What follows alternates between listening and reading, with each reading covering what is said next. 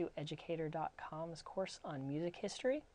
I hope you survived the last lecture on motets. I know it's a bit of a doozy. It's uh, some pretty heady stuff. There's a lot of math in there and a lot of some pre- some pretty crazy terms.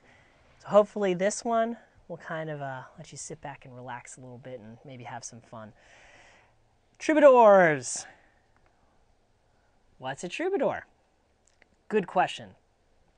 Well, in short, the singing minstrel. Really, the singing minstrel. Think Robin Hood, think men in tight tights. And you have the troubadour. Um, just to get us going on this, immediately I want you to um, watch the clip of Monty Python Brave Sir Robin. It's um, in the quick note, so just pause right now and watch it. All right.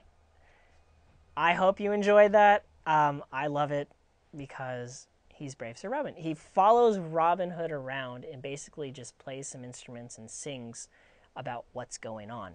And this is where you get sort of the pop culture uh, definition of a troubadour or minstrel as sort of a jester or a joker, sort of a kind of funny guy who who sings songs about life and whatever, really.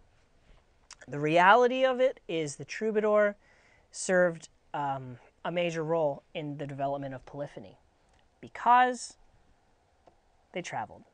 This is a traveling musician. The minstrel traveled. They went from town to town. They maybe were they were in a court with somebody and they followed behind them singing at each town or village they stopped at. So, because they were employing certain techniques that they had learned, such as from maybe they lived in France near Notre Dame. They picked up some of the polyphony there.